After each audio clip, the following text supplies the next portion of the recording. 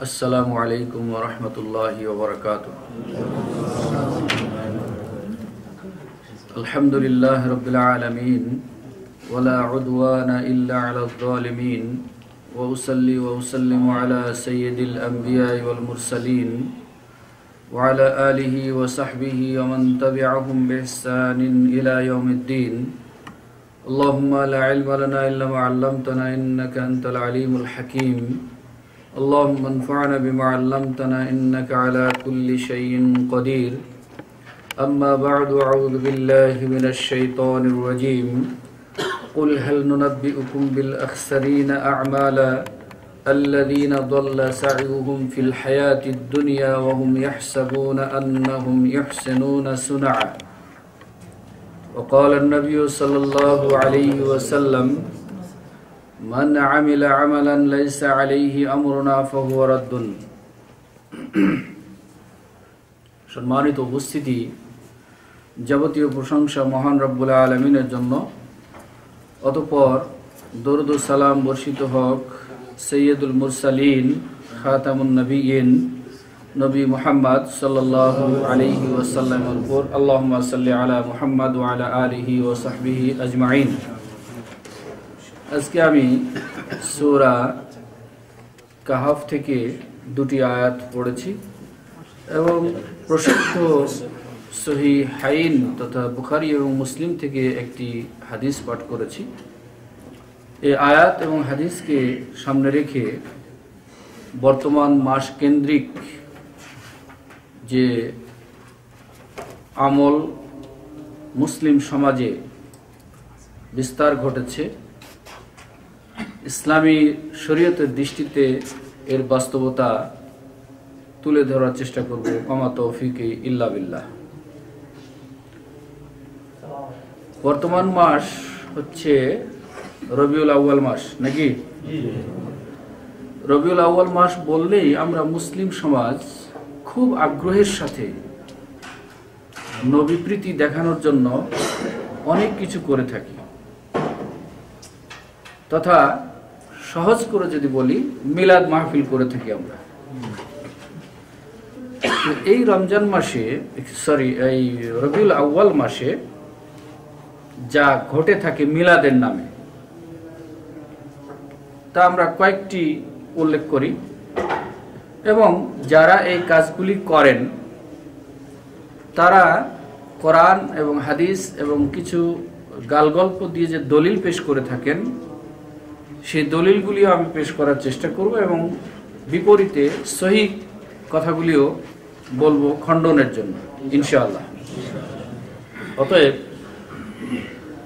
আপনারা মনোযোগ দিয়ে শুনবেন বলে আমি আশা করব। এই জন্য যে আজকাল বিভিন্ন প্রচার মাধ্যমে ওই সমস্ত দলিলগুলি বড় বড় আলেমদের দ্বারা প্রচারিত হচ্ছে।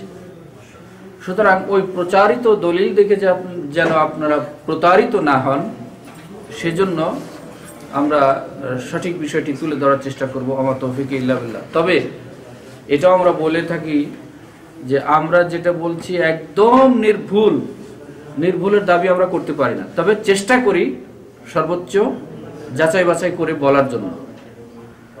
সুতরাং এই দিনে মিলাদ মাহফিল কেন্দ্রিক যে সমস্ত আমল হয়ে থাকে মুসলিম সমাজে, বিশেষ করে নবী সাল্লাহ আলী সাল্লামের জন্মদিনে আনন্দ র্যালি, জশ্নে জুলুস, মিলাদ, কিয়াম, জিলাপি বন্টন, কবরে কবরে জিয়ারত ইত্যাদি আমল এই দিনে করা হয়ে থাকে এই মাসে। এই মিলাদ মাহফিল যে দিনে হয়, সে দিনটি আমরা আগে চিনে নিই। সেটি হচ্ছে আমাদের দাবি অনুযায়ী নবী মোহাম্মদ সাল্লাহ আলাইসাল্লামের জন্মের দিনকে কেন্দ্র করে এটা হয়ে থাকে। জন্মের দিন এবং তারিখ। জন্মের দিন নিয়ে মুসলিমদের মধ্যে কোনো পার্থক্য নেই। সবাই একমত হয়েছেন যে জন্মের দিন ছিল সোমবার। কোনো এখতেলাফ নাই। কেন? বিশুদ্ধ হাদিস দ্বারা প্রমাণিত হয়েছে যে নবী করিম সাল্লাম সোমবার দিন জন্মগ্রহণ করেছেন। এই জন্য এটাতে কোনো ইখতলাফ নাই। ইখতলাফ রয়েছে কোথায়? তারিখ। তারিখ। বারোই রবিউল আউ্য়াল নাকি নয় রবিউল আউ্য়াল? এটা নিয়ে ইখতলাফ রয়েছে। সিরাত রচয়িতাদের মধ্যে, ঐতিহাসিকদের মধ্যে। বর্তমান কালের প্রসিদ্ধ একটি কিতাব রাহিকুল মখতুম, যিনি তিন ফয়সাল অ্যাওয়ার্ড পাওয়া লোক, সেই বইয়ের উদ্ধৃতি দিয়ে আমরা বলতে পারি যে, জন্ম তারিখ বারোই রবিউল আউ্য়াল নয়, বরং নবী, নয় রবিউল আউ্য়াল। আজকে যারা ক্যালেন্ডার করেন, পঞ্জিকা করেন, তারা যে গণনা যেভাবে যে পদ্ধতিতে করে, এই পদ্ধতি অবলম্বন করে দেখা যাচ্ছে যে নবী আলিয়াল্লাম যে বছর রবিউল আউ্য়াল মাসে জন্মগ্রহণ করেছিলেন, সেই বছর বারোই রবিউল আউ্য়াল সোমবার ছিল না। যেহেতু সোমবারে কোনো একতলাপ নেই, তাহলে সোমবারটাকে ঠিক রাখতে হচ্ছে। আর ইতিহাস খুঁজে দেখা যাচ্ছে যে ওই কালে, ওই বছরে বারোই রবিউল আউ্য়াল সোমবার ছিল না। তাহলে সোমবার ছিল নয় রবিউল আউ্য়াল। অতএব নয় রবিউল আউ্য়ালটাই বেশি গ্রহণযোগ্য বলে আমরা মনে করি। বিপরীতে, নয় হোক অথবা বারো হোক, বিতর্কের ঊর্ধ্বে যাওয়ার জন্য যদি আমরা বলি যে নয় তারিখ হোক অথবা বারো তারিখ হোক, ওই তারিখে যে সমস্ত কাজগুলি আজকে করছি, এটা করা শরীর সম্মত কি না এটা দেখা দরকার। আমরা বিতর্কের ঊর্ধ্বে ধরে নিলাম, বারো তারিখ অথবা নয় তারিখ, যে কোনো একদিন ধরলাম। কিন্তু এই তারিখে এই সমস্ত কাজগুলি করতে হবে কিনা, ইসলামের বিধান কি, এটা জানা দরকার। নাকি? তাহলে এখন আসেন। মিলাদুন নবী বলতে আসলে আমরা যেটা বুঝে থাকি এবং করে থাকি সাধারণত, যদিও এখন পরিভাষার পরিবর্তন হচ্ছে। সিরাত মাহফিল বলা হচ্ছে। হ্যাঁ? বা অন্য কোনো নাম দিয়ে কাজ করা হচ্ছে একই। কিন্তু শুধু পরিভাষার লেভেল চেঞ্জ করা হচ্ছে। তো এই মিলাদ মূলত জন্মবার্ষিকী পালন থেকেই শুরু হয়েছে। খ্রিস্টানরা, ইহুদি এবং খ্রিস্টানরা যে গত কয়দিন আগে যে ক্রিসমাস ডে পালন করল, যিশু জন্মদিন। যিশুর জন্মদিন। তো ওইখান থেকেই কিন্তু আমরা অনুসরণ করতে করতে মোহাম্মদ সাল্লাহ জন্মদিন পালন করে, শুরু করে দিয়েছি। তাহলে ক্রিসমাস ডে, বড়দিন, পঁচিশে ডিসেম্বর, যিশু খ্রিস্টের জন্মের দিন যদি পালন করা হয়, তাহলে আমরা কেন করব না? আমাদের নবী জন্মের দিনে কেন আমরা আনন্দ করব না? আসলে এই ক্রিসমাস ডে থেকে শুরু করে মুসলিম সমাজে আস্তে আস্তে এই মিলাদের প্রচলন ঘটেছে। প্রথমত এই ইহুদি খ্রিস্টানদের অনুসরণ করে কিছু শিয়া নেতা এবং আলেমগণ প্রচলন ঘটান এটার। যেমন চতুর্থ হিজরি শতকে একজন ব্যক্তি নাম তার উবায়দ, তিনি ইহুদি ছিলেন, অগ্নিপূজক ছিলেন, উনি ইসলাম গ্রহণ করেন। গড়ার পরে তার নাম রাখা হয় ওবায়দুল্লাহ।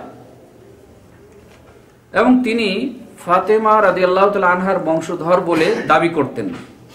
তার উপাধি নিজে উপাধি ধারণ করেছিলেন মাহদি বলে। তার পুরো নাম ছিল আবু মোহাম্মদ ওবায়দুল্লাহ বিন মাইমুন আল মাহদি এই ব্যক্তি ফাতেমি খেলাফতের প্রতিষ্ঠাতা। তারই ছেলের ছেলে, তারই ছেলের ছেলে, প্রপুত্র মহিজ লে দিনিল্লাহ। তিনি ইহুদি ও খ্রিস্টানদের জয়ন্তী অনুকরণ করে মিলাদুন নবী, তারপরে মিলাদু আলী, মিলাদু ফাতিমা, মিলাদ হাসান হুসাইন এবং ওই সময়ের যে খলিফা ছিলেন, তার নামে এই ছয়টি জন্মবার্ষিকী পালন শুরু করেন উবায়দুল্লাহ বিন মাইমুন এই লোক, ওই ইহুদি খ্রিস্টানদের অনুসরণ করে তিনি এটা শুরু করেন। এরপরে প্রায় একশো তিন বছর যাবৎ এই কাজটা চলতে থাকে। অতপর আফজাল ইবন আমিরুল জায়েশ ছয়, চারশো পঁয়ষট্টি হিজরি সনে তিনি মিশরের ক্ষমতা দখল করেন। করার পরে এই কাজগুলিকে বন্ধ করে দেন। আফজাল ইবনু আমিরুল জাইশ, উনি ছয়শো, চারশো পঁয়ষট্টি হিজরি সনে মিশরের ক্ষমতায় যখন অধিষ্ঠিত হন, তখন রাষ্ট্রীয়ভাবে এই কাজগুলিকে বন্ধ করে দেন। অতপর প্রায় তিরিশ বছর এই কাজগুলি বন্ধ ছিল। বন্ধ থাকার ফলে মানুষ আস্তে আস্তে প্রায় ভুলতে বসেছিল।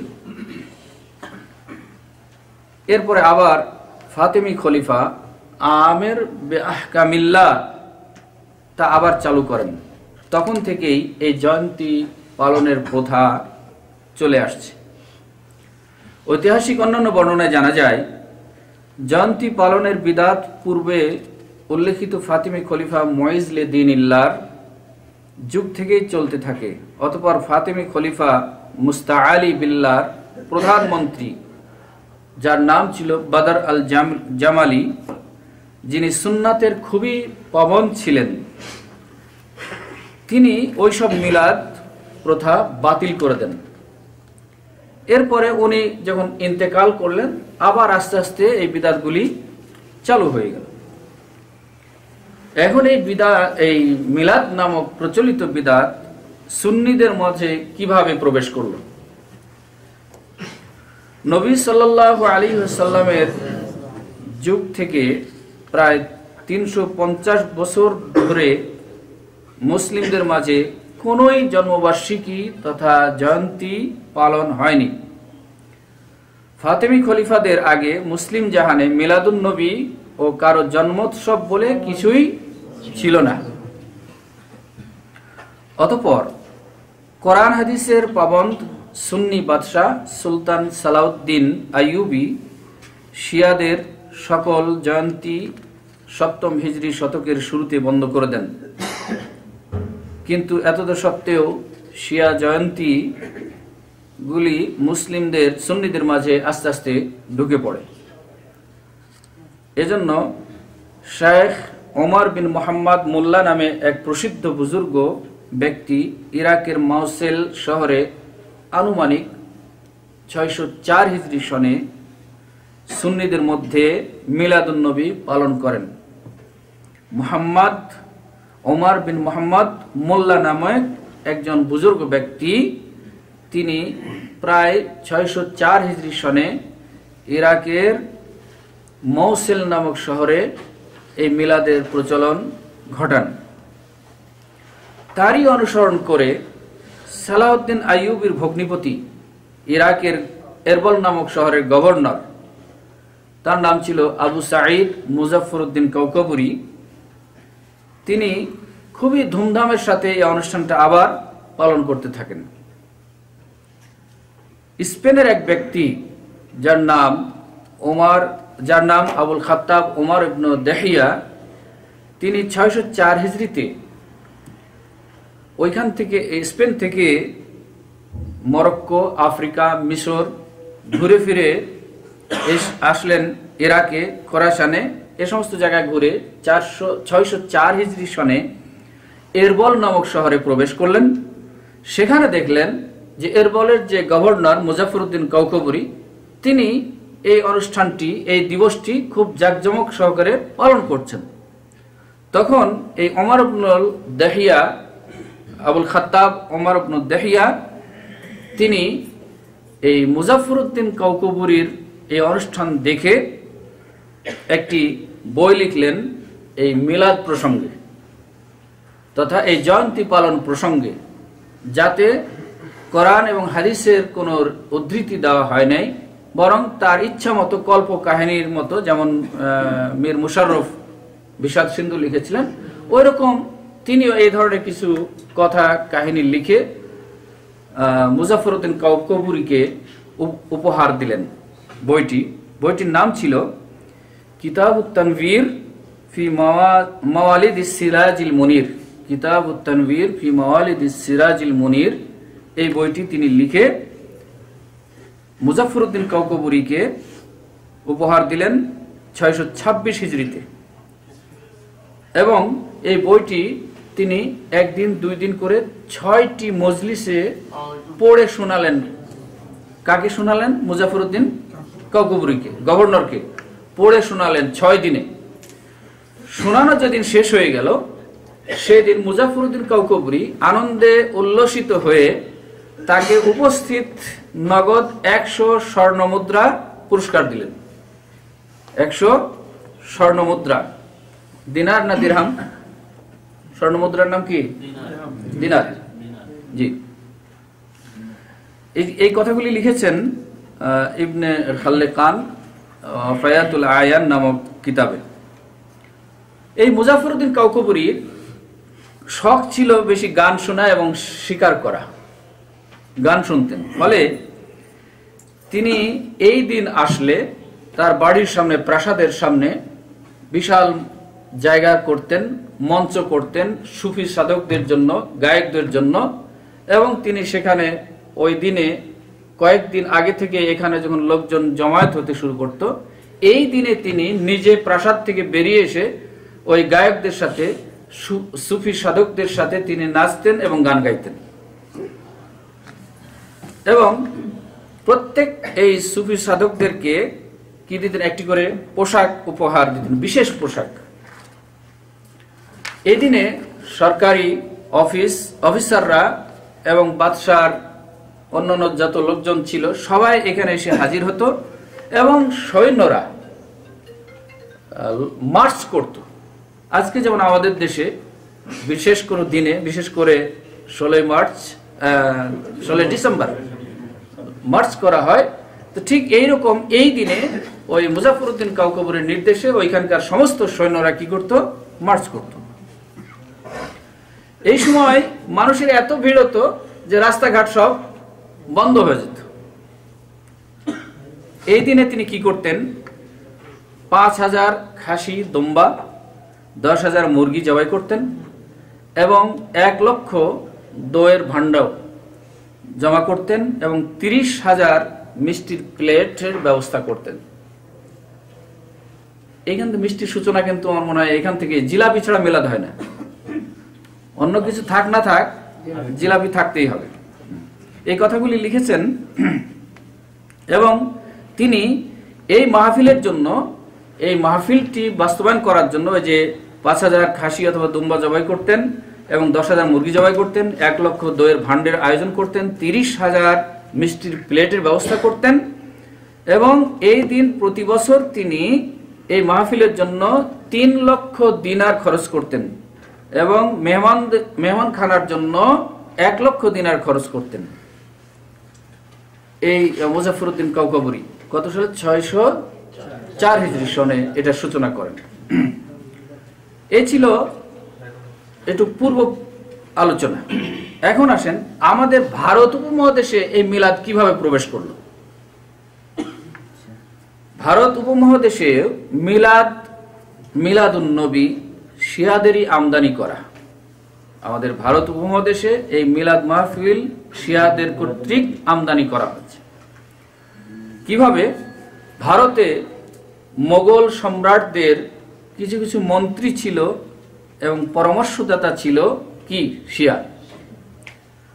যেমন মোগল সম্রাট হুমায়ুন ও সম্রাট আকবরের মা শিয়া ছিলেন। সম্রাট জাহাঙ্গীরের রাষ্ট্রদূত শিয়া ছিলেন। বাদশাহ বাহাদুর শাহ শিয়া ছিলেন। তারাই এ উপমহাদেশে সুন্নিদের মাঝে মিলাদুন্নবী আস্তে আস্তে চালু করেন। ফলে শিয়া মিলাদুন্নবীর কিছু আলামত আজ, আজও রয়ে গেছে আমাদের মাঝে। যেমন আলোকসজ্জা আতসবাজি আনন্দ র্যালি, যেটাকে বলা হয় আনন্দ র্যালি, এখন বাংলায় বলা হচ্ছে। কিন্তু এতদিন পর্যন্ত তারা এখনও বলেন, জশ্নে জুলুস মানে শিয়াদের ওই পরিভাষাটা এখনও রয়ে গেছে। তো ইত্যাদি কাজ এখনও রয়েছে। এইভাবে আমাদের ভারত উপমহাদেশে সুন্নিদের মাঝে মিলাদের প্রচলন ঘটে।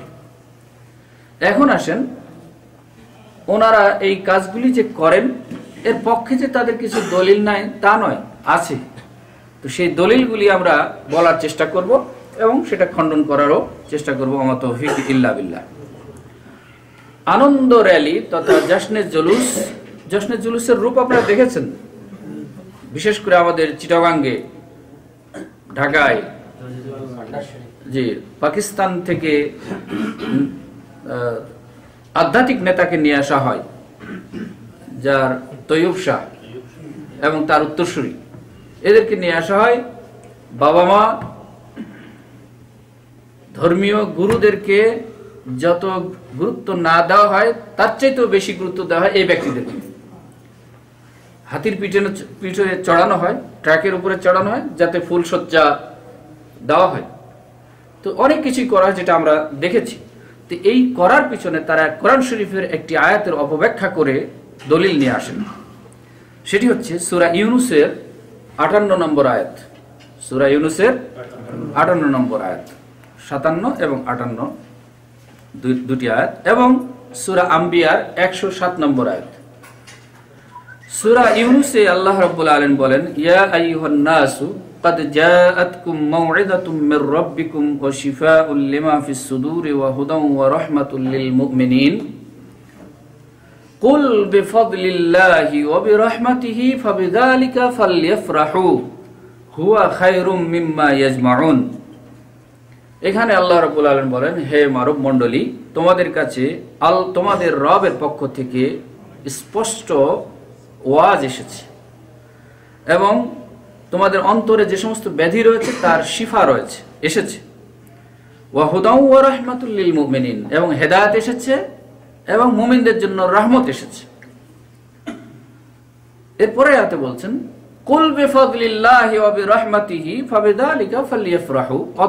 আপনি বলুন, এখন এই রহমত মানে হচ্ছে তাদের দৃষ্টিতে, রহমত মানে মোহাম্মদ সাল্লাম এবং বলছেন, কুল বিফাদলিল্লাহি ওয়া বিরহমাতিহি। অতএব আপনি বলুন যে আল্লাহর ফজলে এবং আল্লাহর রহমতে আনন্দ প্রকাশ করুন। ফালইফরাহু তোমরা যেন, তারা যেন আনন্দিত হয়, খুশি প্রকাশ করে। এবং এইটা কি? হুয়া খায়রুম মিম্মা ইয়াজমাউন। তোমরা যত ভালো কাজ করছ, তার মধ্যে এই কাজটি হচ্ছে উত্তম কাজ। তাহলে ওনারা বলছেন যে এখানে ফজল এবং রহমত মানে হচ্ছে নবী মোহাম্মদ ওয়াসাল্লাম। ফজল মানে বলছেন ইসলাম, আর রহমত মানে হচ্ছে মোহাম্মদ সাল্লাহ তার দলিল হিসাবে পেশ করছেন সুরা আম্বিয়ার একশো সাত নম্বর আয়াত। আল্লাহ বলছেন ওমা আরসালনাকা ইল্লা রাহমাতাল লিল আলামিন। আপনাকে বিশ্ববাসীর জন্য রহমত স্বরূপ প্রেরণ করেছি। অতএব তিনি তো হচ্ছেন রহমত। এবং এই রহমত নিয়েই আমাদেরকে আনন্দ প্রকাশ করতে আল্লাহ বলেছেন। সুতরাং আমরা তার জন্মদিনে আনন্দ কেন করব না? তাদের যুক্তি, দলিল। এটা দলিল।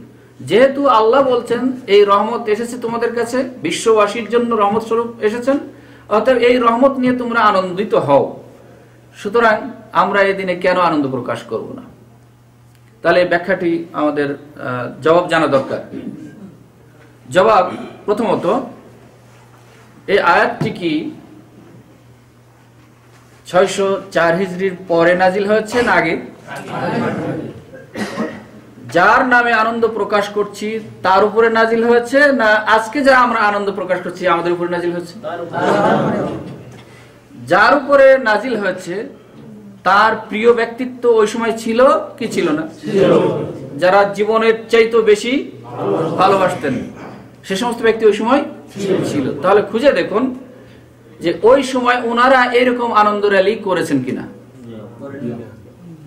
মদিনার অলিগলি রসুল করিম সাল্লামকে উটের উপরে বসিয়ে ফুল সজ্জা করে তারা ইয়ানবী সালাম আলাই করে মদিনার অলিগলি ঘুরেছেন। এরকম কোনো প্রমাণ কোরআন হাদিসে নাই। তারপরও দেখি, এই ফজল বলতে আসলে কি বোঝানো হচ্ছে? রহমত বলতে আসলে কি বোঝানো হচ্ছে? তফসির কারকদের মতামত আমরা একটু খুঁজে দেখি। প্রথমত, তফসির ইবনু কাসির, উনি বলেছেন, ফজল মানে হচ্ছে ওই যে কুলবে ফজলিল্লাহ এই ফজল মানে হচ্ছে আল্লাহর হেদায়েত। আর রহমত মানে হচ্ছে দিনুল হুদা, সত্য দিন। দিনুল হক, সত্য দিন। তফসির ইবনে কাসির বলছেন। আর তফসির ইবনু জারির আত্তাবারি, উনি বলছেন, ফজল মানে হচ্ছে ইসলাম। কুল বি ফজলিল্লাহ এই ফজলিল্লাহ মানে আল্লাহর ইসলাম। রহমত মানে হচ্ছে কোরআন। আর তফসির কুরতুবি বলছেন কুস- কুরতুবিতে ইমাম কুরতুবি বলছেন, ফজল মানে হচ্ছে কোরআন, রহমত মানে হচ্ছে ইসলাম। ইমাম কুরতুবি বলছেন, ফজল মানে কোরআন আর রহমত মানে ইসলাম। অন্য একটা সূত্রে তিনি বলেছেন, ফজল মানে ইমান আর রহমত মানে কোরআন। ইবনুল কাইম আল জাউজিয়া ইদানিং কালের ওনার একটা বই, ইজতেমা জয়ুসুল ইসলামিয়া নামক একটি বই, সেই বইয়ের মধ্যে তিনি উল্লেখ করেছেন, ফজল মানে ইমান আর রহমত মানে সুন্নাত। সুতরাং এই উল্লেখিত আমাদের সমাজে মুফাসির গন্ধের মধ্যে যারা একটু প্রসিদ্ধ, তাদের মধ্যে কেউ বলছেন না যে রহমত মানে এইখানে নবী সাল্লাহ আলাইসাল্লাম এই কথা কেউ বললেন না। সুতরাং আপনারা নিজের পক্ষ থেকে এটা বানিয়ে নিলেন। অন্য আরেকটি আয়াত থেকে যে, ওমা আরসালনাকা ইল্লা রাহমাতাল্লিল আলামিন। আল্লাহ ঠিক আছে, ওখানে ঠিকই আছে। কিন্তু এইখানে যে রহমত মানে এবং ফজল মানে মোহাম্মদ সাল্লাল্লাহু এই কথাটা কোনো মুফাসসির বলছেন না। এ ছিল তাদের প্রথম দলিলের খণ্ডন। দ্বিতীয়ত তাদের আরেকটি দলিল আছে। সেটি হচ্ছে, তাদের দৃষ্টিতে দলিল, কিন্তু মূলত এটি দলিল নয়। ইমাম সুয়ুতি, জালালউদ্দিন সুয়ুতি, ওনার, উনি হাফেজ ইবনে হাজার আসকালেনে একটি বরাত দিয়ে বলেছেন যে, নবী আলাইসাল্লাম যখন হিজরত করে মদিনায় গেলেন, তখন সেখানে আশুর আর সিয়াম পালন করেছিলেন। উদ্দেশ্যটা কি ছিল? মুসা আলাহিসাল্লাম নাজাদ পেয়েছিলেন। এজন্য সুক্রিয়া স্বরূপ তিনি রোজা রেখেছিলেন মুসা আলাহিসাল্লাম এবং মদিনায় যখন গেলেন, তো সেখানকার লোকজনও দেখলেন যে তারাও এই দিনে সিয়াম পালন করছে। জিজ্ঞেস করলেন, তোমরা কেন সিয়াম পালন করছ? তারা বলেছিল যে, এই দিনে মুসা আলাহিসাল্লাম ফেরাউনের অত্যাচার থেকে নাজাদ পেয়েছিলেন, আল্লাহ থেকে মুক্ত করেছিলেন। এই জন্য আমরা সুক্রিয়া স্বরূপ রোজা রাখি। তখন তিনি কি বলেছিলেন? নাহনু আহাক্কু বে মুসা। তোমাদের চাইতে আমরাই বেশি হকদার অত আমরা রোজা রাখব। সুতরাং এই হাদিস এই হাদিস থেকে ওনারা বলছেন যে, মুসা আলাহিসাল্লাম আল্লাহর শত্রু ফেরাউন থেকে মুক্তি পেয়ে যদি সুক্রিয়া স্বরূপ রোজা রাখতে পারেন, তাহলে আমাদের জন্য তো নবী সাল্লাহ আলাইসাল্লাম হচ্ছে একটা বড় নিয়ামত। অতএব তার জন্মের দিনে আমরা সুক্রিয়া আদায় স্বরূপ কেন এসব কাজ করব না? বুঝেছেন? সলটা? যে যুক্তিটা। যে মুসা আলাহিসাল্লাম এই বিপদ থেকে মুক্ত হয়ে নিয়ামত লাভ করে শুক্রিয়া আদায় স্বরূপ যদি সিয়াম পালন করতে পারেন, তাহলে আমাদের জন্য তো নবী সাল্লাহ সাল্লাম একটা বড় নিয়ামত। সুতরাং তার আগমনের দিনে আমরা কেন এসব কাজ করব না? বুঝা গেছে? এখন জবাব কি? জবাব হচ্ছে, আপনার যেটা হাফিজ হাজার রহমুল্লাহর উদ্ধৃতি দিয়ে বলছেন, আসলে কথাটা ওইখানে প্রথমত এরকম ছিল না। ওনাকে জিজ্ঞেস করা হয়েছিল, সুয়েলা শেখ ইবনে হাজার আন আমালিল মৌলিদি মানে এই মিলাদ মাহফিল সম্পর্কে হাফিজ ইবনে হাজারকে জিজ্ঞেস করা হলে তিনি বলেছিলেন ফাআজাবা মা নাসুহু তিনি যে জবাব দিয়েছিলেন সেটি হচ্ছে এরকম। যে ব্যাপারে, আসলু আমালিল আমালিল মৌলিদি বিদআতুন লাম তুনকাল আন আহাদিন মিনাস সালাফিস সালিহ মিনাল কুরুনিস সালাসা। কাফুন ফি যামিল যাম্মিল ইহতিফাল বিল হাফিজ ইবনে হাজারকে যখন এই ব্যাপারে জিজ্ঞেস করা হলো, তখন তিনি বললেন যে, এই মিলাদ মাহফিল নামে যে কাজ করা হয়, এটা হচ্ছে বিদাত। এবং এই কর্মের পক্ষে সালাফে সালহিনদের কাছ থেকে কোনো দলিল পাওয়া যায় না। সালাফে মিনাল কুরুনি সালাসা, অর্থাৎ সাহাবাইকরাম তাবেই তবে তাবেই এই যুগ থেকে কারও কাছ থেকে এর কোনো প্রমাণ পাওয়া যায় না। এটা হচ্ছে মিলাদের নামে একটা ঘৃণ্য ঘৃণ্যতম কাজ। তাহলে হাফিজ ইবনে হাজার আসকালানি আপনি যেভাবে বলছেন, সেভাবে বলেননি, বরং উনি উল্টাটা বলেছেন। আর আরেকটি হচ্ছে, দলিল হিসাবে এটা গ্রহণযোগ্য নয়। যদি এটা দলিল হিসাবে গ্রহণযোগ্য হতো, তাহলে সালাফে সালেহিনগণ অবশ্যই পালন করতেন। অতএব আশুরার সিয়াম দিয়ে মিলাদ মাহফিলের দলিল কায়েম করা কোনোভাবেই বৈধ নয়। কেননা রবি সাল্লাম বলেছেন আলাইকুম বেসুন্নাতি সুন্নাতুল খুলাফায়ে রাশিদিন আল মাহদিয়িন এরপরে আসেন আশুরার সিয়াম দিয়ে মিলাদের বিদাত চালু করা যাবে না কেননা এবাদতের ভিত্তি হচ্ছে শরীয়ত। এত্তেবা ব্যক্তির রায় নয়। ব্যক্তির রায় পালন করা হচ্ছে বিদাত। কেননা ওনার যদিও বলে থাকেন যে হাফিজ ইবনে হাজার এটি বলেছেন তাহলে হাফিজ ইবনে হাজার আসকালানির কথা দিয়ে কিন্তু দলিল সাব্যস্ত হবে না। দলিল সাব্যস্ত হবে সাহাবাই রামদের কথা থেকে রসুল করিম সাল্লাহ এজন্যই আহ, আশুরার সিয়াম সহি হাদিস দ্বারা প্রমাণিত। এবং আশুরার সিয়াম পালন করতে রসুল করিম সাল্লাহ আলাইসাল্লাম উৎসাহিত করেছেন এবং এর ফজিলত বলেছেন। কিন্তু আজকে যে মিলাদ মাহফিল করছেন, এই ব্যাপারে রসুল করিম সাল্লাম কিছুই বলেন নাই। বরং বিপরীতে কি বলেছেন? সাবধান, তোমরা নতুন কিছু আবিষ্কার করা থেকে। তাহলে এটা একটা নতুন আবিষ্কার। আরেকটি সংশয়, তারা আরেকটি দলিল পেশ করে থাকেন যে নবী করিম সাল্লাহ আলিয়াল্লামের আকিকা দিয়েছিলেন, হয়েছিল। তার দাদা আকিকা দিয়েছিলেন। ওনার একটা সংশয় নিয়ে আসছেন, কীভাবে দেখুন? যে বাইহাকির একটা বর্ণনা আছে যে রসুল সাল্লাহ রাহমাতুল্লিল আলামিন বানান, বানানোর কারণে যে অমা আরসাল ইল্লা রহমাতাল্লিল আলামিন, এইটা আল্লাহ তাকে উপাধি দেওয়ার কারণে তিনি আল্লাহর শুক্রিয়া আদায় করার করার জন্য নবদ লাভের পরে নিজের আগিকা আবার দ্বিতীয়বার করেছিলেন। কোথা থেকে কোথায় নিয়ে আসছে দেখেন। যে ইমাম বাইহাকির বর্ণনা দিয়ে উনি বলছেন যে রসুল সাল্লাহ আলাইসাল্লামকে রাহমাতুল্লিল আল আলামিন বানানো হয়েছে। এরই শুক্রিয়ার জন্য তিনি নবদ প্রাপ্তির পরে নিজের আকিকা আবার দিয়েছিলেন। সুতরাং নবী সাল্লাম আমাদের জন্য একটি বড় নিয়ামত। অতএব তার শুক্রিয়া আদায়ের জন্য আমরা মিলাদের আয়োজন কেন করব না? যুক্তি। খণ্ডন কি? যে হাদিসটি বলা হলো, ইমাম বাইহাকির বরাত দিয়ে, এই হাদিসটির মধ্যে একজন বর্ণনাকারী আছেন, তার নাম হচ্ছে মেহরার। এই মেহরার নামক বর্ণনাকারীকে মহাদ্দেসিনগণ, যারা হাদিস বিশারদ, তারা সবাই বলেছেন জয়ীফ মতরুক, পরিত্যক্ত, অগ্রহণযোগ্য ব্যক্তি। তার হাদিস গ্রহণযোগ্য নয়। ইমাম হাফিজ হাজার আসকালানি ফতুল বাড়ির মধ্যে উল্লেখ করেছেন এবং অন্যান্য মহাদিসগণও এই কথাটি উল্লেখ করেছেন। তাছাড়া মূলে আপনার যে হাদিসটি বলেন, এই হাদিসটিতে আকিকার কথাও যদি ধরে নেওয়া হয়, তাতে মিলাদের কোনো তো কথা নাই। আপনারা যে যে বিষয়গুলি পালন করছেন অনুষ্ঠানগুলি, সেগুলির কোনো ইঙ্গিত সেখানে নাই। এরপরে এ ইমাম নববী হাদিসটিকে বাতিল বলে উল্লেখ করেছেন। কেননা মাতরুক এবং জয়ীফ যে বলা হচ্ছে মেহরারকে এই জন্য তিনি বলেছেন হাদিসটি বাতিল। তাছাড়া মূল কথা হচ্ছে যে ওইখানে মিলাদ প্রসঙ্গে কিছুই নাই।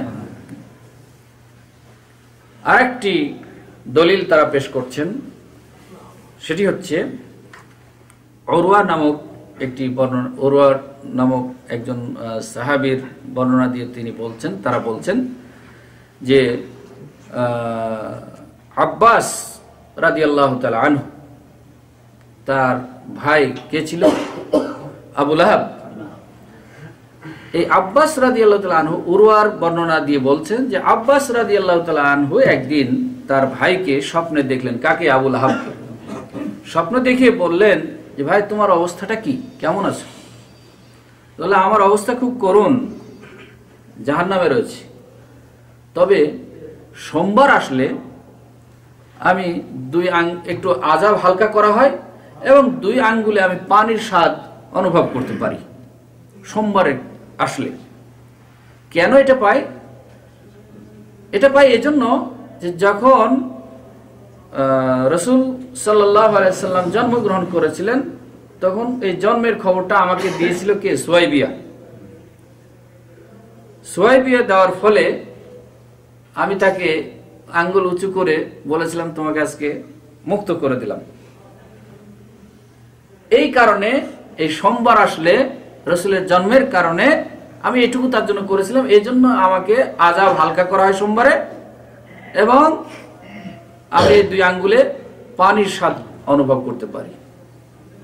এটা ছিল এখন এইখান থেকে তাদের যুক্তি হচ্ছে, তিনি অমুসলিম হয়ে রসুলের নামে জন্মের দিনে যদি এই সুবিধাটা ভোগ করতে পারে, তাহলে আমরা মুসলিম হয়ে কেন পাবো না? জন্মের খুশি হওয়ার পরে, জন্মের খুশি হয়ে যদি তাকে মুক্ত করে দেওয়া হয়, এই কারণে যদি তিনি এত বড় ফজিলত লাভ করতে পারেন যার নামের আজাব হালকা করা হয় এবং আঙ্গুলে পানির স্বাদ লাভ করতে পারে তাহলে আমরা মুসলিম হয়ে কেন এটা করতে পারব না? মুসলিমদের অবস্থা কি হতে পারে? তার জন্মদিনে যদি এসব করা হয়, আনন্দ করা হয়, তাহলে আমাদের অবস্থাটা আরও বেশি ভালো হবে। উনি জন্মের দিনে আনন্দিত হয়ে এটা করেছিলেন এই জন্য তাকে এই- এই সুখটা দেওয়া হচ্ছে। তাহলে আমরা মুসলিম হয়ে যদি করি, তাহলে আমরা আরও বেশি পাবো। এটাই তাদের যুক্তি। এখন আসেন, এটা খণ্ডন করবেন কেমন?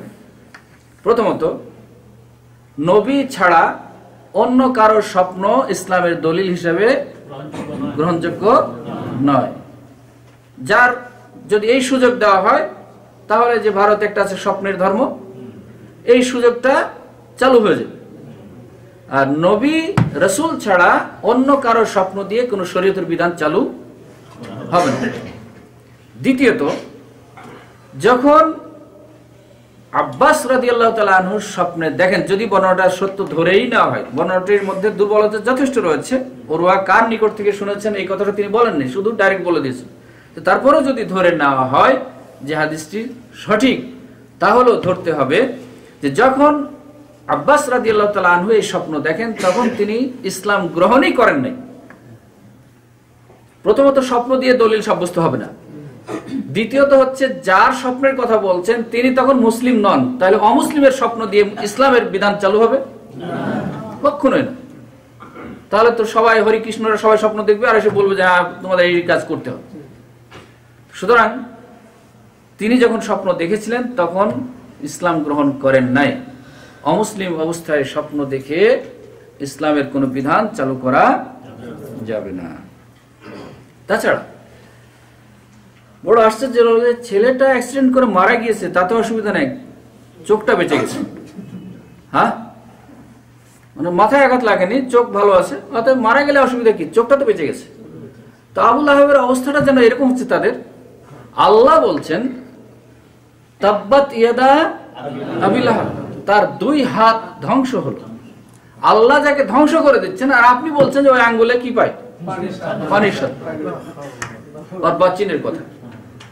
আল্লাহ বলছেন আবিল আহাব তাহলে মনে হচ্ছে আয়াত তো মনে আরও পরে নাজিল হয়েছে নাকি?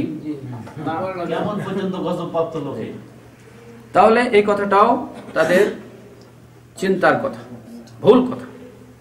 দ্বিতীয়ত আরেকটি খণ্ডন হচ্ছে যে জন্মের খবর শুনে নবী করিম সাল্লাহ জন্মের খবর শুনে সোয়াইবিয়াকে মুক্ত করা হয়েছিল মর্মে যে সমস্ত বর্ণনা এসেছে সবগুলি বিতর্কিত বর্ণনা।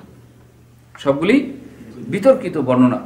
বরং ওই সময় মুক্ত করেছেন এই মর্মে কোনো নির্ভরযোগ্য তথ্য পাওয়া যায় না।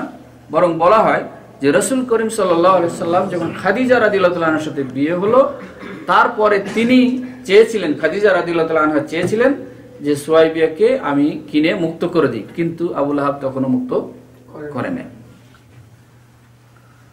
পরে মুক্ত করেছে বলে বলা হয়ে থাকে। এরপরে আবুল আহাবকে নবীর জন্ম সম্পর্ক সংবাদ দেয়া হয়েছে এবং তিনি যে দাস মুক্তি করেছেন, করেছে, এই মর্মে কোনো সহি বর্ণনা নাই। সুতরাং এটা দিয়ে আপনাদের পক্ষের দলিল সাব্যস্ত করার কোনো যুক্তি নাই। আরেকটি সংশয়, তাদের যুক্তি। রসুল সাল্লাম তার জন্মের দিন সোমবার শ্যাম পালন করতেন।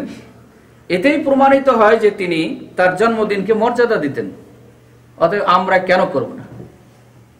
বুঝা গেছে? নবী করিম সাল্লাম তার জন্মের দিনে রোজা রাখতেন। তার মানে বোঝা যাচ্ছে তিনি জন্মের দিনকে সম্মান করতেন, প্রাধান্য দিতেন। অতএব আমরা কেন তার উন্মত হয়ে তার জন্মের দিনে শ্যাম পালন করব না? বোঝা গেছে? সংশয়টি এখন হচ্ছে রসুল সাল্লাম তার জন্মের দিনে রোজা রাখতেন। জন্মের বারে রোজা রাখতেন? কোনটা? জন্মের দিনে রোজা রাখতেন না জন্মের বারে রোজা রাখতেন? মানে জন্মের তারিখে রোজা রাখতেন নাকি জন্মের দিনে রোজা রাখতেন? জন্মের দিনে রোজা রাখতেন। সোমবারে। কিন্তু তারিখে রোজা রাখতেন বারোই রবিউল ব্যক্তিবাচী সুতরাং এক কথায় যুক্তি যদি ধরেও নেওয়া হয় যে বারোই রবিউল আউয়াল রসুল সাল্লাহ সাল্লামের জন্মের তারিখ, রোজা রাখেননি, বরং সোমবার দিন রোজা রেখেছে। যদি আপনাদের বিতর্কের খাতিরে ধরে নি যে বারোই রবিউল আউয়াল তার জন্মের দিন, তাহলে উনি বারোই তারিখে রোজা রাখেননি, বরং কোন দিনে রেখে- রেখেছেন? সোমবারের দিন রোজা রেখেছেন। আর এই সোমবার এগারো মাস উনত্রিশ দিন পরে বছরে একবার আসে। হ্যাঁ? প্রতি মাসে কয়বার আসে? ন্যূনতম চারবার। আসে। প্রতি মাসে কেন রাখেন না? সোমবারে যদি রোজা রাখেন তার জন্মের দিনে যদি রোজা রাখেন তিনি সোমবারে রোজা রেখেছেন বারো রবিউল আউয়াল রাখেন নাই। সুতরাং সোমবারে যদি রোজা রাখতে হয় তাহলে এগারো মাস উনত্রিশ দিন পরে কেন রাখছেন? প্রতি মাসে রাখেন? প্রতি সোমবারে রাখেন? তা রাখেন না। আর রসুল সাল্লাহ সাল্লাম সোমবারকে খাস করেনি তবে অগ্রাধিকার দিতেন। ভালোবাসতেন যে এই দিনে আমি রোজা রাখব, এই জন্য যে আমার আমলটি যেন রোজা অবস্থায় আল্লাহর কাছে পৌঁছানো হয়। সুতরাং বারোই রবিউল আউয়াল নবী করিম সাল্লাম সম্মান করেছেন, রোজা রেখেছেন, এরকম কোনো প্রমাণ নাই। তবে সোমবারের দিন রোজা রেখেছেন, এটা প্রমাণ আছে। আর আপনারা সোমবারের দিন কোনোই কাজ করেন না, বরং বারোই রবিউল আউয়াল যেদিনই হোক সেদিনটাই আমল করে থাকেন। আরেকটি হচ্ছে আরেকটি জবাব হচ্ছে, নবীর জন্মের সুক্রিয়া যদি মিলাদ মাহফিল হয়, তাহলে তো দলিল ও বিবেক বলে যে তিনি যেভাবে রবের সুক্রিয়া আদায় করেছেন, সেভাবেই হওয়া দরকার। তা হচ্ছে সিয়াম। অথচ মিলাদিরা কি করে? সিয়াম করে ওই দিনে? রোজা রাখে? কি করে? নাচ গান করে। নাচন কুদন করে আর মিষ্টি বিলায়।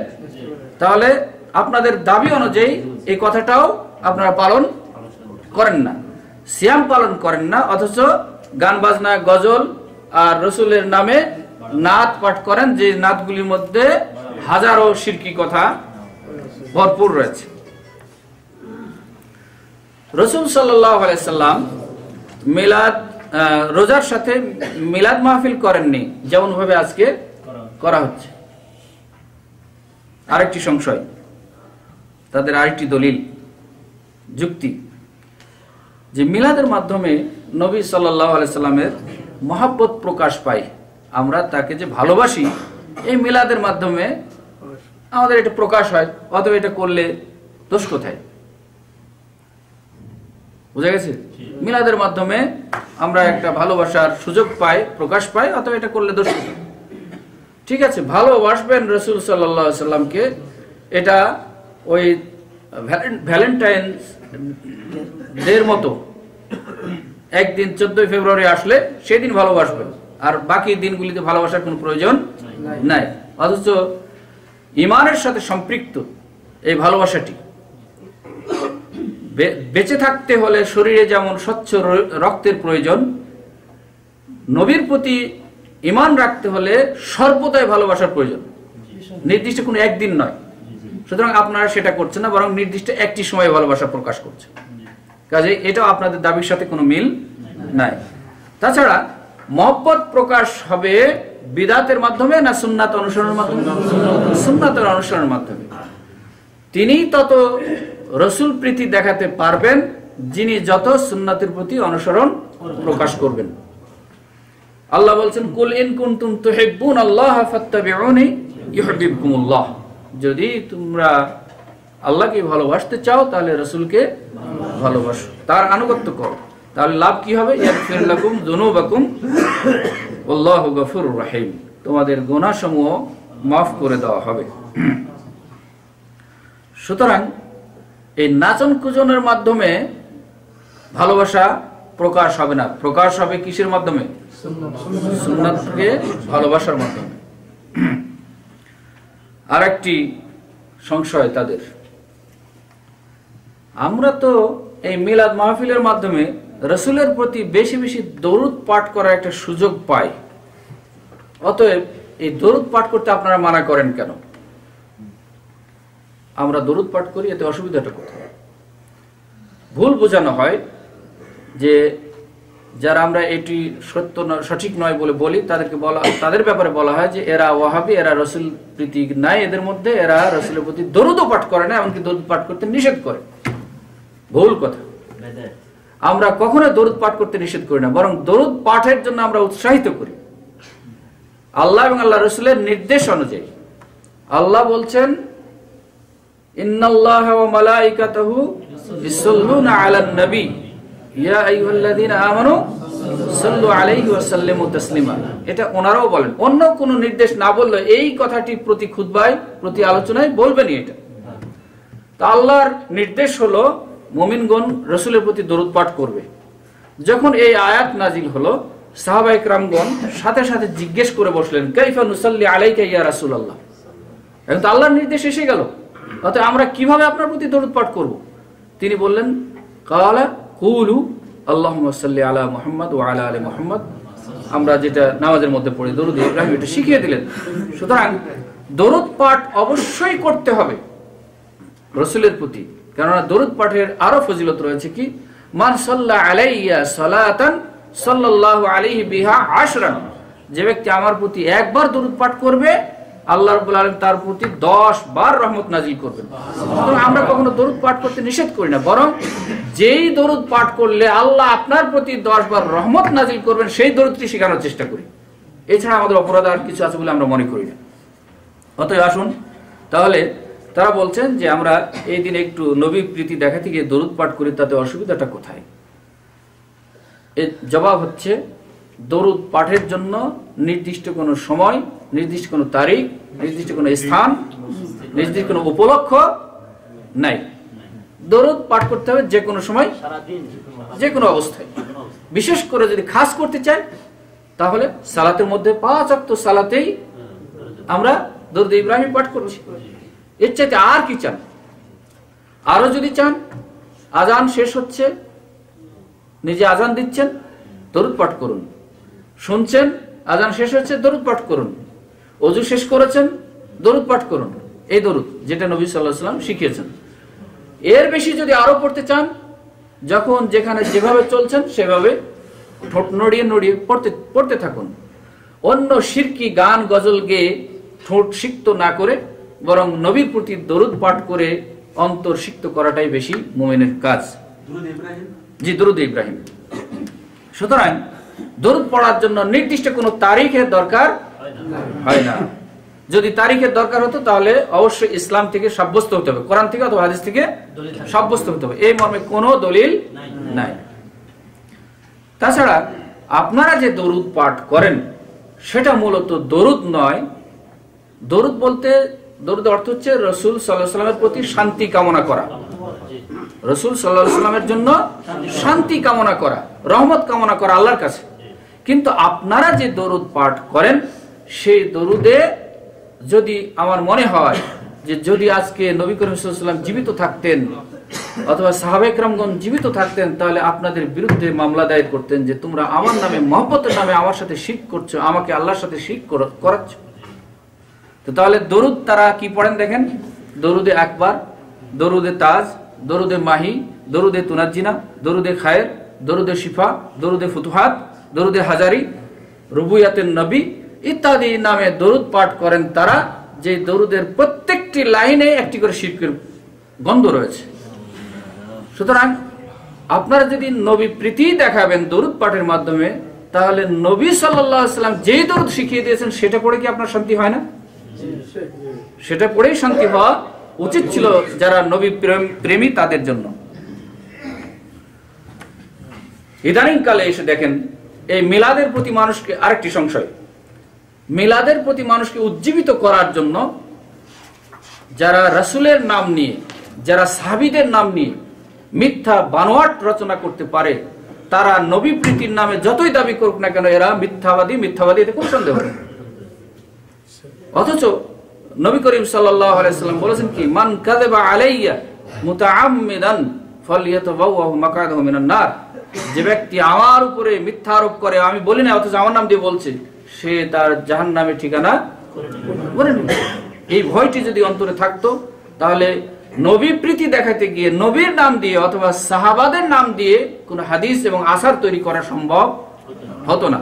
কোন একজন ন্যূনতম ইমানদার ব্যক্তি এটা করতে পারে না। কিন্তু যেহেতু আমাদের মস্তিষ্কে শিয়া রক্তের প্রবাহ বইছে, ওখান থেকে আমরা বেরিয়ে আসতে পারছি না, যার ফলে নিজেরাই বাণী বাণী তৈরি করে ফেলছে। কীভাবে দেখেন? আমাদের দেশীয় একজন লোক, তার নাম হচ্ছে আল্লামা মোহাম্মদ মুস্তফা হামিদি। তিনি একটি বই লিখেছেন, মিলাদ ও কিয়াম। আল্লামা মোহাম্মদ মুস্তফা হামিদি। উনি একটা বই লিখেছেন, মিলাদ ও কিয়াম।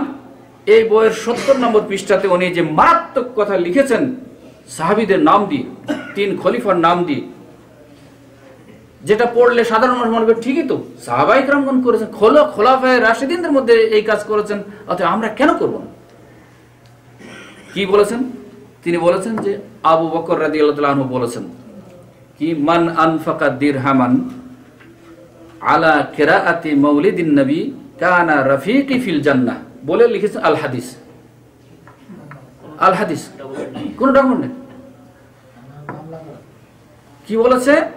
যে যে ব্যক্তি কেরাতে মৌলুদ্দিন নবী নবী সাল্লামের মিলাদ পাঠের জন্য এক দিরহাম খরচ করবে, সে জান্নাতে আমার সাথে থাকবে। আবু বকর রাদিয়াল্লাহু বরাত দিয়ে বলছেন যে রাসূল বলেছেন যে যে ব্যক্তি মিলাদে অথবা আবু বকর রাদিয়াল্লাহু বরাত দিয়ে বলছেন যে তিনি বলেছেন যে যে ব্যক্তি মিলাদ পাঠের জন্য এক দিরহাম পরিমাণ খরচ করবে, সে আমার সাথে জান্নাতে থাকবে। ওমর রাদিয়াল্লাহু আনহুর বরাত দিয়ে কি বলেছেন? মান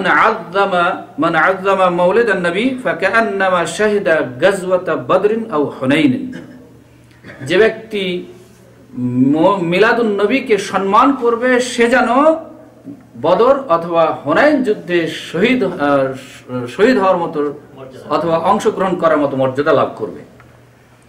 আলী তাআলা আনহু বরাত দিয়ে বলছেন কি? মান নবী কানা সাবাবান ফি কিরাআতিহি লা ইয়াখরুজু মিনাদ দুনিয়া ইল্লা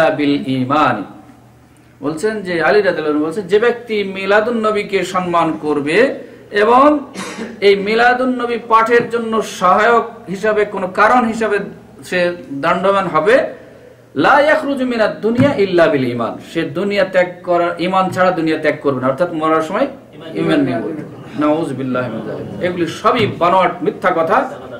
হাদিসের কিতাবে নাই, কোনো সিয়ারের কিতাবে নাই, ইতিহাসের কিতাবে নাই, সিরাতের কিতাবে নাই। উনি মোহাম্মদ মুস্তফা হামিদি নিজের মন গড়া কথায় এটা লিখে দিলেন। আরবি ভাষাভাষী যারা, আজকে ড্রিঙ্কিং ওয়াটার না ইটিং ওয়াটার কোনটা ঠিক? উনি বলে দিয়েছেন, কেরা আলা কেরাআতি মাউলিদিন নবী। কেরাত সালাত সালাত পাঠ করা, সালাত পড়া, আমরা যে নামাজ পড়া বলি, তো নামাজ পড়া বলতে ওখানে বাংলায় আমরা বলি, কিন্তু আরবিতে কেরাত শব্দটি ওখানে নাই। তো এখানে উনি বলছেন কেরাত মৌলুদ্দিন নবী মৌলুদ্দিন নবী পাঠ করার জন্য। এই আরবি ভাষাভাষী যারা আরবি জ্ঞান রাখেন, তারা এই কথাটা শুনেই বুঝবেন যে এটা কোনো আরবিয়ানদের কথা নয়। এটা কবি। কোন বাঙালি কবির কথা। এই মিথ্যা কথা লিখতে গিয়েও যে উনি ধরা পড়ে গেছেন কথা দিয়ে যে কেরাত মাউলুদ্দিন নবী এরকম কোন আরবি হতেই পারে না। তো ওয়াটার ড্রিঙ্কিং ওয়াটারের জায়গায় যদি কেউ বলে ইটিং ওয়াটার তাহলে যেমন ইংরেজি পাঠরা যারা ইংরেজি বিদ তারা বুঝে নেবেন যে ইনি কত ইংরেজি জানেন। তো ঠিক যারা আরবি জানেন তারা এই কথা শুনে বুঝে নিচ্ছেন যে উনি কত দূর আরবির দৌড় আছে তার সম্পূর্ণ মিথ্যা কথা লিখেছেন এই জালিয়াতের শেষ নাই। সর্বশেষ তাদের আরেকটি দাবি যে দুনিয়ার অনেক মানুষ করে, আমরা করলে অসুবিধাটা? হ্যাঁ? দুনিয়ার অনেক মানুষই করছে, অনেক মুসলমানই করছে অতএব আমরা করলে কোথায়? দোষ কোথায়? এর জবাব হচ্ছে, আল্লাহ রাব্বুল আলামিন বলেছেন ওয়াইন তুতি আকসারা মান ফিল আরদি ইউদিল্লুকা আন সাবিলিল্লাহ। তুমি যদি পৃথিবীর অধিকাংশের লোকের অনুসরণ করো তাহলে আল্লাহর রাস্তা থেকে তারা তোমাদেরকে বিভ্রান্ত করে দেবে। তাহলে অধিকাংশই দলিল নয় অধিকাংশই দলিল। নয় তাছাড়া পৃথিবীর অধিকাংশ পৃথিবীর যদি বলেন তাহলে একটা কথা আর যদি বলেন মুসলিমদের মধ্যে অধিকাংশই বলছে তাহলে দেখুন আসলে মূলের প্রতি মহব্বত নাই। বহু মুসলিম তো সালাত আদায় করছে পাঁচ ওয়াক্ত, আপনি তো করেন না। ওটা কেন বলেন না যে সবাই সালাত আদায় করছে, আমি কেন করব না? এটা বলি না। বহু অমুসলিম তো ইসলামের বিরুদ্ধাচরণ করছে, আপনি কেন করছেন না? তা করবেন না। বহু মুসলিম ইসলামিক কালচার জীবনে গড়ে তোলার চেষ্টা করছে, আপনি কেন সেটা দেখে শিখছেন না? জাকাত দিচ্ছে বহু মানুষ, আপনি কেন দিচ্ছেন না জাকাত? তখন বহু অজুহাত বের করছেন। এটা যেহেতু সহজ উপায় একদিন নাম কস্তে মিলাদ করে নিলি সব পার হয়ে যাচ্ছে। এজন্য আমি বলি সুতরাং এটা অধিকাংশ রায় দিয়ে দলিল পেশ করা যাবে না। এই জন্য আমরা বলি অনেক সময় বলি যে আসলে উভয় পক্ষই ফাঁকিবাজ আমরা। উভয় পক্ষই ফাঁকিবাজ। কীরকম ভাবে ফাঁকিবাজ? যারা মিলাদ করাচ্ছেন, তারাও ফাঁকিবাজ। যারা আমরা গিয়ে পাঠ করে আসছি, তারাও ফাঁকিবাজ। এটুকু মনে যথেষ্ট। আর সামনে না যাই ভালো বলছেন ফাঁকিবাজের ব্যাপারে। সুতরাং, এইভাবে দেখুন, এই সংখ্যাগরিষ্ঠের দলিল দিয়ে মিলাদ তথা প্রচলিত যে আনুষ্ঠানিকতা চলছে, সেটা বাস্তবতার কোনো মিল নাই। তাছাড়া ওইখানে যে দরুদ পাঠ করা হয় যেটা আগে বলা হচ্ছিল দরুদের মধ্যে আরো কিছু এই যে যে দরুদগুলির নাম বললাম এছাড়া আরো কিছু কবির কবিতা বলা হয় যেগুলি স্পষ্ট শিখ যেমন বলা হয় ও जो मुस्तवी अर्श थे खुदा होकर उतर पड़ा है मदीना में मुस्तफा होकर या नबी সালাম আলাইকুম যে তিনি তো সেই যিনি খোদা হয়ে আরশে ছিলেন আর মদিনায় আসলেন মুস্তফা হয়ে। তো সুতরাং এখন আমাদের আহ্বান হচ্ছে, এই মিলাদ মাহফিল নামে যে ক্রিয়াকলাপ মুসলিম সমাজে চলছে, এটা শরীয়তের সাথে কোনো মিল নেই, বরং শরীয়তের সাথে সাংঘর্ষিক একটি পদ্ধতি এবং আমল। এই আমল ছেড়ে দেওয়া খুবই জরুরি। জন্মদিবস কোনো মুসলিম জীবনে পালন করার কোনোই ইতিহাস নাই। তাছাড়া শোক দিবস পালন করছেন না আনন্দ দিবস পালন করছেন? খেয়াল করে দেখুন। বারোই রবিউল আউয়াল যদি ধরেও নেন, তাহলে আনন্দ দিবস পালন করছেন নাকি শোক দিবস পালন করছেন? ওই দিনে তো তিনি ইন্তেকালও করেছেন।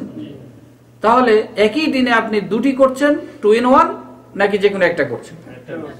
একটা করছেন, আনন্দ করছেন। যেহেতু আনন্দ প্রকাশ করছেন, এই থেকে আমরা বুঝছি যে আপনি আনন্দ করছেন। তাহলে মৃত্যুর শোক পালন করছেন না। এই মর্মে আহলে সুন্নাত জামায়াতের সম্ভবত সেক্রেটারি জেনারেল নাম বলব? মুফতি আব্দুল জলিল সাহেব। উনি একদিন টিভিতে বলছিলেন, এই এই কথা যখন বলছিলেন উনি, তখন একজন দর্শক সওয়াল করলেন যে, এই সওয়ালটি যে তাহলে আমরা কি ওই দিনে আনন্দ মিছিল করব না শোক মিছিল করব? উনি বললেন না, উনি তো ইন্তেকাল করেনি তো আনন্দ, দুঃখের কি আছে আমাদের? যে বলবে, মারা গেছে, সে তো মুসলিমই নয়। এই হচ্ছে তাদের বিশ্বাস। সুতরাং, যদি পালন করতে হয়, তাহলে দুঃখের এটা পালন করেন, তা তো করবেন না। যেহেতু করবেন না, যেন উনি মারাই যাননি বলে তারা বিশ্বাস করেন। সুতরাং, এই সব ইসলামের সাথে কোনোই মিল নাই, বরং বিধর্মীয় কালচারের সাথে মিল আছে। বিধর্মীয় কালচার যেমন জন্মদিবস পালন করছে, এবং শ্রীকৃষ্ণের জন্মাষ্টমীর সময় যেমন বলা হয়, স্বর্গে ছিল রামের নাম মর্তে আনিল কেড়ে। ওরই অনুসরণ করে আজকে আমরা বলছি, ও যে মুস্তাবি আরশ থেকে খোদা হকার উতার পড়া হ্যায় মদিনা মে মুস্তফা হকার ওই হিন্দুদের শ্রীকৃষ্ণের জন্মাষ্টমীর অনুসরণ করে বলছে। তারা বলতো ওই দিনে যে স্বর্গে ছিল রামের নাম মর্তে আনিল কে। তো আমাদের মোহাম্মদ সাল্লাম ছিল আরও সে দুনিয়া আসলো। একই থিওরি সুতরাং এই সমস্ত থিওরি থেকে ফিরে আসি কোরআন এবং সুন্নার থিওরির কাছে।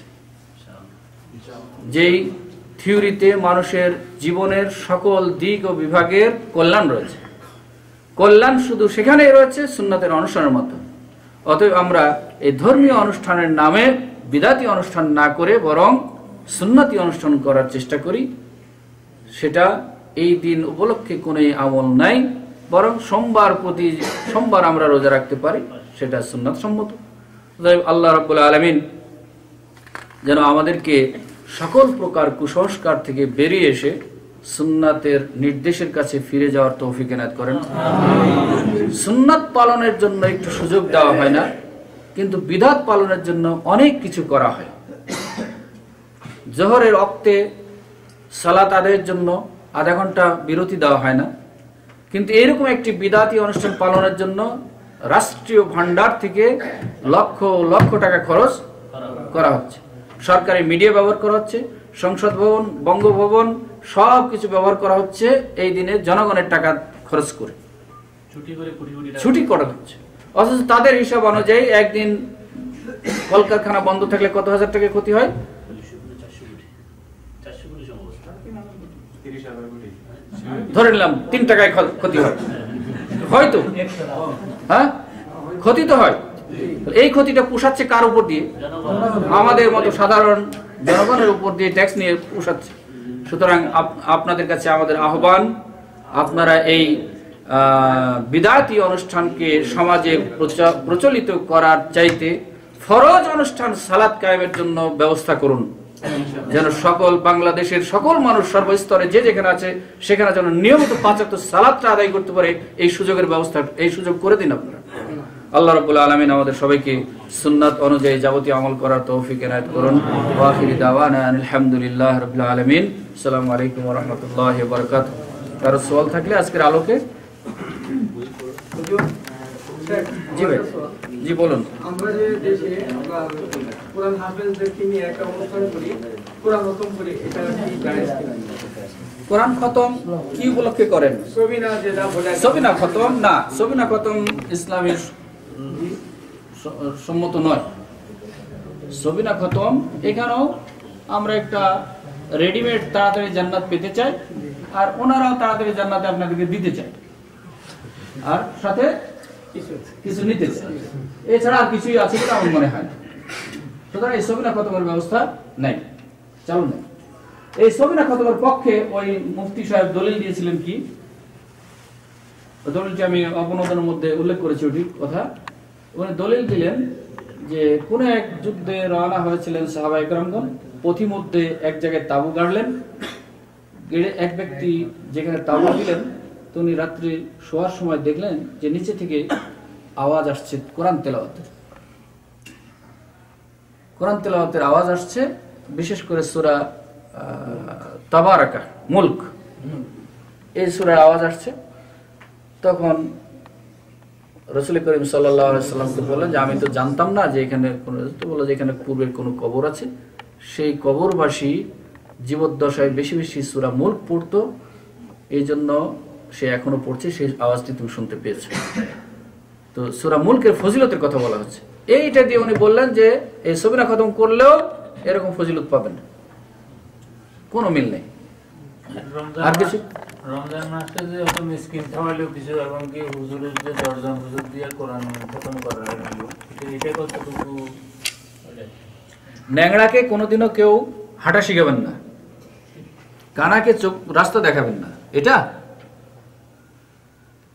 আপনি নিজে কোরআন শরীফ পড়বেন না। এই জন্য ওই হুজুরদেরকে ভাড়া করে নিয়ে আসবেন। তাই তো? যেহেতু নিজে পড়া লাগবে না। আমি বলি উল্টাটা। নিজে পড়ুন। নিজে পড়ার কথাই আল্লাহ রবুল আলম বলছেন রসুল নিজে পড়ার কথা বলছেন। আমি পড়ে গেলাম ফজিলত আমি নিয়ে গেলাম। লাভ লাভও হলো কি পরকালীন লাভ হলো দুনিয়ার লাভ হলো কি পকেটে গরম হলো। ভালো একবার খাওয়া আরও পেয়ে গেলাম। আমার লাভ হলো আপনার কি হলো? তো মনে কিচ্ছু হয় না। জিরো। আরও গুণা হবে। ভাই আপনার আগে মনে হয় ওই ভাই হাত তুলেছিলেন। ওয়ালাইকুম আসসালাম। কোরআন যে সূরা ইয়াসিন সূরা ইয়া যে কোনো সূরা ভালোভাবে তালিম করলে এটা কি পড়ার পরও হ্যাঁ অনুসরণ করতে পারে? আল্লাহ ওই আয়াতের হাদিসের ভিত্তিতে আল্লাহ দিলে করতে পারেন ফজলত পেতে পারেন। বিশেষ করে সুরা মুলকের কথা হাদিসে এসেছে। সুরা মুল্ক কেন হাদিসে বলা হচ্ছে সুরা মুল্ক তোমরা বেশি বেশি পড়ো এটা হচ্ছে তোমাকে রুজিতে বরকত দিবে এবং কবরে আজাব থেকে রক্ষা করবে জি আজকের বিষয়ের উপর একটা জানার বিষয় প্রশ্ন না যে আমরা অনেক সময় দেখা যায় রেডিওতে হেরাম শরীফের কোরআন তালাওয়াত। নয় হারাম হারাম শরীফের।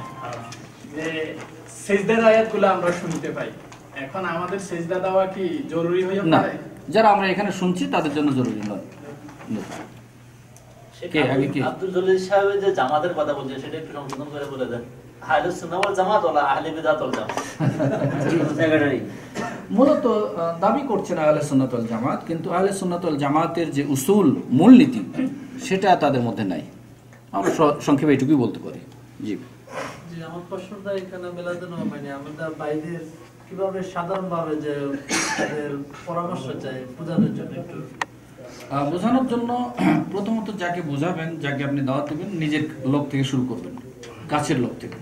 যিনি আপনার কথা শুনবেন, আপনার অধীনস্থ মা, বউ, ছেলে, মেয়ে, ইত্যাদি, এদের কাছে। এবং যাকে বলবেন, তার জন্য আগে একটু আল্লাহর কাছে দোয়া করে নেবেন। যে আল্লাহ, তিনি আমারই ভাই, আমারই বোন, আমারই বউ, আমারই আত্মীয় স্বজন সে একটা ভুল আমল করছে। আল্লাহ, তুমি তাকে বুঝ দাও যেন সে এই ভুল আমলটা ছেড়ে সঠিক আমলটা করতে পারে। আল্লাহর কাছে একটু দোয়া করবেন, তারপরে তাকে বলবেন। যে এটা আসলে ঠিক নয়। আর প্রথমে বিদাত বলবেন না, কারণ যদিও কাজটি বিদাত, কিন্তু প্রথমে যখন বিদাত বলবেন, তখন তার রক্ত গরম হয়ে যাবে। সে আপনারা কোনো কথা শুনতে চাইবে না। যে এতদিন ধরে করে আসছি, আমার বাপ দাদা চোদ্দ পুরুষ করছে, আর তুমি বিদাত বলছো, শুনতে চাইবে না। এই জন্য বলবেন যে, আসলে সহি হাদিসে পাওয়া যায় না এই আমলগুলি তো আস্তে আস্তে এটা আমরা ছেড়ে দেওয়ার চেষ্টা করি। এভাবে একদিন দুই দিন করে বলতে থাকবেন। আর বলার আগে দোয়া করবেন, দোয়ার পরে আপনি চিন্তা করবেন যে ওই লোকটার সাথে আপনার সম্পর্ক কীরকম? আপনি কিছু বললে সে শোনার মতো মানসিকতা আছে কিনা? এরকম পরিবেশ সৃষ্টি করার চেষ্টা করবেন।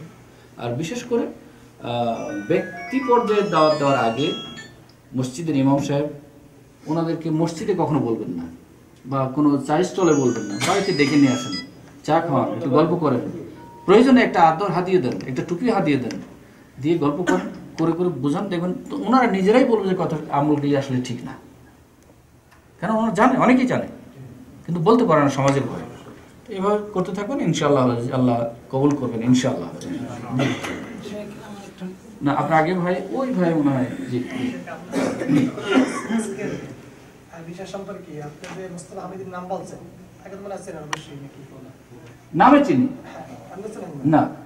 বাংলাদেশ একজন বড় আলেম। জি। যতটুকু জানি না। তো এই বিষয়গুলো নিয়ে তাদের সাথে বসা যায় না? আপনাদের পক্ষ থেকে বা যারা বাংলাদেশ আরও বড় আলেম আছে। জি, স্বীকৃত তার না সে বোধহয় আলেম। না সমাজে যথেষ্ট তার স্বীকৃতি আছে পরিচিতি আছে। জি। জি। জি। তারপরে তো তার কথা সঠিক ওইটা কিন্তু আমি সাপোর্ট দিচ্ছি। আমি বলছি এই বিষয়গুলো মীমাংসা করা যায় কিনা? অবশ্যই মীমাংসা করা দরকার। কথা কিন্তু কি বলে সমাজ অ্যাকসেপ্ট করে আর কি। জি হ্যাঁ। ওনার কথা যথেষ্ট গুরুত্ব। জি। তো সেই ক্ষেত্রে আমি আমরাও আশা করি যে ওনাদের সাথে এরকম ব্যক্তিদের সাথে যদি আমরা কখনো একটু বসতে পারতাম আমার কথা না, মানুষ বুঝলাম মানে আমাদের যারা সেই কথাগুলি বলতে চেষ্টা করছি তারা যদি আমরা কখনো এরকম ব্যক্তিদের সাথে একটু বসতে পারতাম বিতর্কের জন্য নয়। আমার থিওরি হচ্ছে বিতর্কের জন্য না বিতর্ক করে কোনো ফায়দা আসবে না। বরং পর্যালোচনা করি। যে এই কথাগুলি কোরআন সুন্নার সাথে কতটুকু সাংঘর্ষিক বা কোরআন সুন্নার কতটুকু পক্ষে? এরকম যদি আপনি কোনো যোগাযোগের ব্যবস্থা করতে পারেন আহলান সাহলান আমরা আছি। না যদি যেহেতু আমার ওনার সাথে ওরকম কোনো পরিচয় নাই যদি এরকম করতে পারেন কোনো মাধ্যমে যদি তাহলে আমার মনে হয় বাংলাদেশ আপনাদের যারা হ্যাঁ বুঝেছি। বাংলাদেশে যারা আমাদের আছেন তাদের সাথে যদি ওনার সাথে যোগাযোগ করে যদি বিতর্কের জন্য বললে কিন্তু কখনো উনি আসবেন না আমরাও যাব। না কেননা বিতর্ক করতে গিয়ে দেখা যাচ্ছে উল্টা হচ্ছে। বিতর্ক তো করা যায় ইসলামের ইয়ে নিয়ে করা যায় না? না বিতর্ক করা যায় কিন্তু বিতর্কের যে শর্ত সেই শর্ত অনুযায়ী বিতর্ক করেন না তারা। ওনারা বিতর্ক করেন কি দিয়ে? দিয়ে। আর জনগণ দিয়ে। দলিল দিয়ে বিতর্ক করেন না এই হচ্ছে সমস্যা। জাজাকুমুল্লাহ খায়ের। আর কি? এখানে একটা জি। মোরাকাবা সম্পর্কে তারা কি দলিল দেয়? যে হুজুর সাল্লাল্লাহু আলাইহি ওয়াসাল্লাম বলছেন এক সাহাবী এসে জিজ্ঞেস করলেন যে রাসূলুল্লাহ আমি একজন জান্নাতি লোক দেখতে চাই। হুজুর সাল্লাল্লাহু বললেন যে মসজিদে হারামে প্রথম যে আসবে আর লাস্টে যে যাবে তার কাছে জিজ্ঞেস করো তো ওই ব্যক্তি আসলো আয়সা জিজ্ঞেস করল, দেখল আবু বকর প্রথম আসলেন আর লাস্টে তিনি গেলেন। তখন